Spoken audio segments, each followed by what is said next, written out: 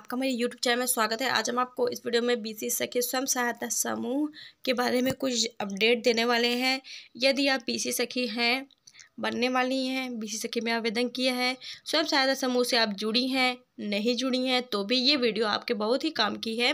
तो इस वीडियो में आज हम आपको बताने वाले हैं तो सहायता समूह होता है। स्वयं का सहायता समूह बनने का स्टार्टिंग से हम आपको प्रोसेस बताएँगे, ठीक है?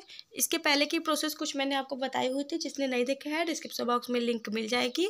आप जा करके देख लेना, अगर स्वयं का सहायता समूह नहीं बनाया है या बनाया है तो भी आपके काम की चीज़। आज हम आपको इस वीडियो में बताने वाले हैं समूह का गठन, ठीक है? समूह के गठन हेतु प्रस्ताव और कार्यवाही। ये सब कैसे लिखा जाता है, ठीक है? समूह का गठन करने के लिए प्रस्ताव कैसे होता है और प्रस्ताव की कार्रवाई कैसे होती है, वो डिटेल आज हम आपको पूरा लाइव दिखाएँगे। कि मैंने आपको पिछली वीडियो में बोला हुआ था कि समूह से रिलेटेड आपको सारे क्वेश्चन सारी जानकारियाँ आपको मिलेंगे स्टार्टिंग से के लास्ट तक, ठीक है? तो अभी यहाँ पर समूह का गठन हो चुका है, ठीक है? जैसे कि मैंने आपको पिछली वीडियो में बताया था, समूह के गठन हेतु प्रस्ताव कार्यवाही कैसे लिखी जाती है, उसको हम आपको बताएँगे। और एक चीज़ और हम आपको यहाँ पर बताने वाले हैं कि समूह का नामांकन एवं पदाधिकारी का चयन कैसे किया जाता है और उसको लिखा कैसे जाता है आ, मतलब कि रजिस्टर में उसको सब हम आपको दिखाएँगे इस वीडियो में ठीक है? तो वीडियो पर बने रहना पूरा लास्ट तक। अगर आप हमारे चैनल पर अभी तक नए हो चैनल को सब्सक्राइब कर लीजिए और वीडियो पसंद आए तो लाइक कर दीजिएगा ज़्यादा ज़्यादा लोगों पर शेयर कर दीजिएगा। चलिए वीडियो स्टार्ट करते हैं। तो सारा कुछ हम आपको यहाँ पर लाइव दिखाने वाले हैं ठीक है? तो मैंने रजिस्टर तैयार किया है उसमें सारा कुछ नोट किया है उसको हम आपको दिखाएँगे ठीक है? चलिए देख लेते हैं वीडियो पर बने रहना। तो जैसे कि आप स्क्रीन पर देख सकते हैं यहाँ पर इसी तरह से आपको समूह के गठन हेतु तो प्रस्ताव कार्रवाई लिखनी है यहाँ पर, ठीक है? बाकी यहाँ पर सारी डिटेल आप देख लीजिए। दिनांक यहाँ पर इस तरह से आपको लिखना है, समय क्या है वो लिखना है, ग्राम पंचायत क्या है ये लिखना है आपको, और किस जगह पर हो रहा है विद्यालय जो कि गाँव के बीचों बीच है। यही पर राष्ट्रीय ग्रामीण आजीविका मिशन की अति महत्वाकांक्षी योजना के तहत समूह गठन हेतु बैठक किया गया है। बैठक में उक्त ग्राम पंचायत के अलग अलग अति गरीब व गरीब परिवारों से बारह महिलाएँ उपस्थित हुई। इस बैठक में बीएमएम भी उपस्थित रहे, जिसके द्वारा समूह संचालन समूह से जुड़कर अपनी आजीविका और आजीविका का विकास किया। बाकी आप यहाँ पर देख सकते हो कैसे किया जा सकता है, विस्तार से चर्चा हुई। सभी उपस्थित सदस्यों सदस्यों को बताया गया कि गठित समूह की बैठक प्रत्येक सप्ताह निश्चित दिन व स्थान पर सभी सदस्यों की उपस्थिति में होगी। प्रत्येक, जिसमें प्रत्येक सदस्य बचत के रूप में दस रुपया समूह से जमा करेगा। और बचत सभी के लिए एक समान होगा। बचत से जो धन एकत्र होगा, जो जो कि कोई भी सदस्य दो परसेंट प्रतिशत के ब्याज पर ले सकता है और समय पर बताया गया किस्तों पर वापस करना पड़ेगा, ठीक है? बाकी समझ सकते हैं आप। फिर उसके बाद इस तरह से आपको यहाँ पर सिग्नेचर ले लेना है। महिलाओं का, जो भी महिलाएँ यहाँ पर, सबका नाम लिखना है, उनके हस्बैंड का नाम, फिर उसके बाद उनका सिग्नेचर हो गया, ठीक है? बाकी ये तो आपको समझ में आ गया होगा यहाँ पर। समूह के गठन हेतु प्रस्ताव कार्रवाई, ठीक है? तो अब हम आपको दिखाएँगे यहाँ पर। चलिए सेकेंड पेज ओपन कर लेते हैं यहाँ पर। और ये जो है, यहाँ पर आप देख लीजिए। तो ये देख लीजिए यहाँ पर। ये ये है मतलब कि इसमें आप देख सकते हैं, ये महिलाओं का आधार कार्ड है, ठीक है? आधार कार्ड हो गया, बैंक की पासबुक की फ़ोटो कापी हो गई, बस। यही दो चीज़ लगना है और फ़ोटो लगना है महिलाओं का, ठीक है? ये कुछ महिलाओं का फ़ोटोज़ है यहाँ पर, जो कि यहाँ पर एकत्रित किया गया है, जो समूह से महिलाएँ जुड़ी हुई हैं, ठीक है? तो आप समझ सकते हैं यहाँ पर, इस तरह से आपको भी एकत्रित कर लेना है, ठीक है? बाकी ये चलिए, हम हम आपको आपको सेकेंड पेज दिखा देते हैं यहाँ पर। ये देखिए, इस तरह से जैसे कि ये देख सकते हैं आप समूह का नामांकन एवं पदाधिकारी का चयन, ठीक है? किस तरह से होगा? इसी तरह से आपको भी लिखना है, समूह का नामांकन कैसे हुआ, पदाधिकारी का चयन कैसे हुआ, सब कुछ यहाँ पर देख लीजिए, इसी तरह से आपको भी कर लेना है। आज दिनांक छब्बीस तीन, इस तरह से आपको लिख देना है, जो भी तारीख हो, बैठक हुई और बाकी आपके यहाँ पर किसके द्वारा ये बैठक की गई है, यहाँ पर लिख देना है, ठीक है? और मेरे द्वारा की बैठक की जा रही है, स्वेच्छा से दीदियाँ अपने तो देख सकते हैं यहाँ पर।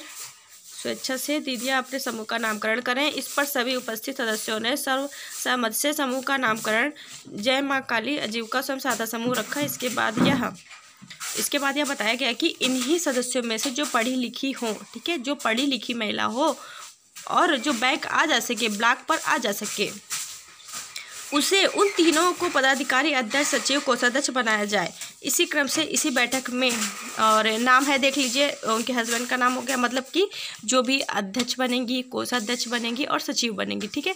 तीनों का यहाँ पर नाम उनके हस्बैंड का नाम यहाँ पर लिख देना है।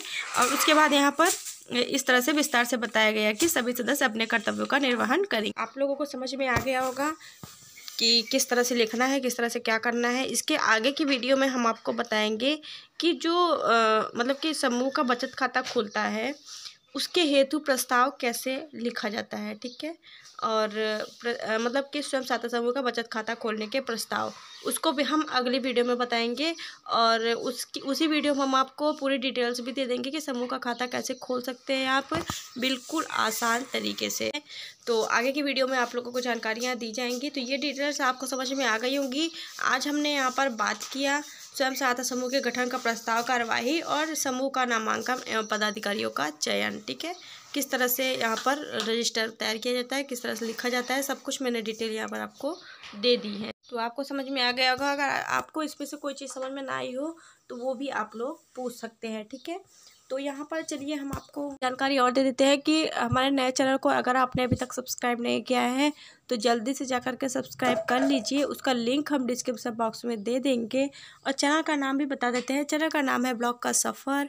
उस चैनल को सब्सक्राइब कर लीजिए। ठीक है? वहाँ पर भी आपको अच्छी अच्छी वीडियोस देखने को मिल जाएँगी। बाकी इस वीडियो को शेयर भी कर दीजिएगा ज़्यादा से ज़्यादा लोगों के पास। तो चलिए आपको डिटेल समझ में आ गई होंगी। इसके बाद हम आपको अगली वीडियो में और भी जानकारियाँ देंगे। मॉर्निंग में एक वीडियो आई थी। उसको अगर आपने नहीं देखा है, उसमें हमने बताया हुआ था बीसी सुपरवाइजर भर्ती के बारे में। उस वीडियो को आपने अगर नहीं देखा है तो उसका भी लिंक हम डिस्क्रिप्शन बॉक्स में दे दे रहे हैं। आप जा के देख लीजिए जो लोग भी ऑनलाइन आवेदन करना चाहते हैं। क्योंकि मैंने वहाँ पर सारा कुछ आपको बताया है और मतलब कि यहाँ पर करीब छः ज़िलों में बी सुपरवाइजर की भर्तियाँ होनी हैं, जिसकी वीडियो भी मेरे चैनल पर है। पहले उस वीडियो को देख लीजिए, उसके बाद आप देखिएगा कि ऑनलाइन आवेदन किस तरह से किया जाता है, ठीक है? आप उन वीडियोज़ को देख लीजिएगा और उसके बाद कमेंट करके बताइएगा।